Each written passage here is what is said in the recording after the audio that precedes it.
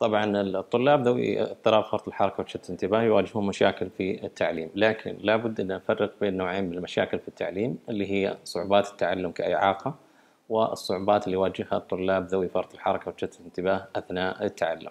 طبعا نتكلم عن صعوبات التعلم كإعاقة هي ممكن تحدث كاضطراب كإعاقة مصاحبة لاضطراب فرط الحركة وتشتت الانتباه فبالتالي يعاني الطلاب اللي عندهم فرط حركة وتشتت الانتباه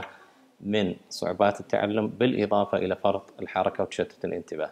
آه، لكن بعض الطلاب اللي عندهم اضطراب فرط الحركة وتشتت الانتباه يواجهون آه، صعوبات ومشاكل في التعلم لكنها لا تصل آه، إلى مرحلة أنها تكون إعاقة فبالتالي يحتاجون إلى بعض الاستراتيجيات والطرق اللي تساعدهم على أنهم يتجاوزون هذه الصعوبات. لكن إذا كان عنده صعوبات التعلم والتي تعتبر كإعاقة فهو يحتاج إلى برنامج وإلى شخص مختص في صعوبات التعلم بالإضافة إلى آه، شخص مختص في اضطراب آه، فرط الحركة وتشتت الانتباه. وطبعا الدراسات اللي أجريت آه، حاولت إنها تقيس نسبة الانتشار الناس اللي عندهم اضطراب فرط الحركة وصعوبات التعلم كإعاقة وجدت إنه في نسبة يعني تتراوح من 20 إلى 30% وبعض الدراسات تصل إلى 50%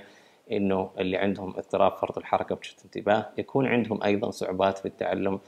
آه، ويواجهون مشاكل في التعلم. وأيضا دراسات أخرى أجريت وجدت إنه في بعض الأشخاص يواجهون مشاكل في التعلم وبالتالي يحتاجون إلى تدخلات أكاديمية آه، لكي يتجاوزوا هذه المشاكل المصاحبة للاعراض السلوكية اللي يواجهونها.